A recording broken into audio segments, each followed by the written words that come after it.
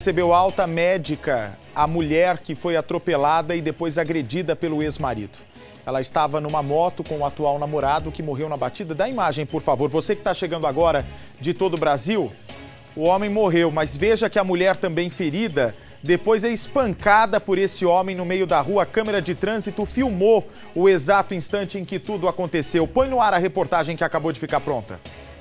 O vídeo gravado por câmeras de segurança mostra o momento exato em que a moto é atingida pelo carro em alta velocidade, nesta rua do bairro São Camilo, em Itu. O motociclista e a mulher na garupa são arrastados. O capacete dos dois sai com a batida. O rapaz permanece imóvel, mas a mulher tenta reagir. O motorista então se aproxima e chuta várias vezes a cabeça dela.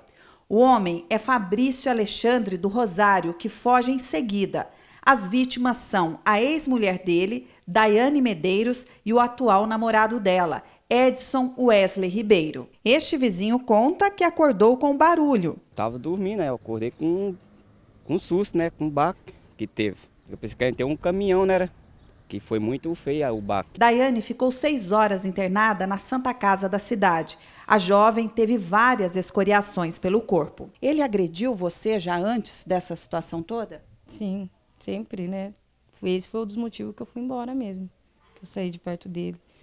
Tentando acreditar que ele ia ficar do lado dele. No velório do rapaz, família e amigos muito abalados não quiseram gravar a entrevista. E nisso, quem morreu foi o menino que não tinha nada a ver.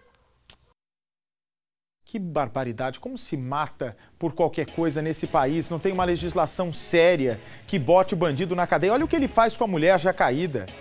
Olha, a mulher já estava completamente ferida, o homem estava morto e ele ainda faz questão. Olha só o impacto, a ferocidade desse homem. Ô Lombardi, enquanto as autoridades de Brasília não se, se sensibilizarem e deixarem esses bandidos apodrecerem atrás das grades, esses crimes vão ser constantes aqui no país, hein? Isso é verdade, a lei é muito branda. Né? Agora, esse homem aí, ele é um frouxo. Eu costumo dizer que todo homem frouxo que não consegue, não sei, acabou o casamento, acabou o casamento, vira a página. Ela tocou a vida dela, ele devia tocar a vida dele, não, ele não se conforma. Agora, ele é muito mal, porque ele faz isso, olha, atropela de propósito, mata o, mata o rapaz, depois chuta o rosto dela.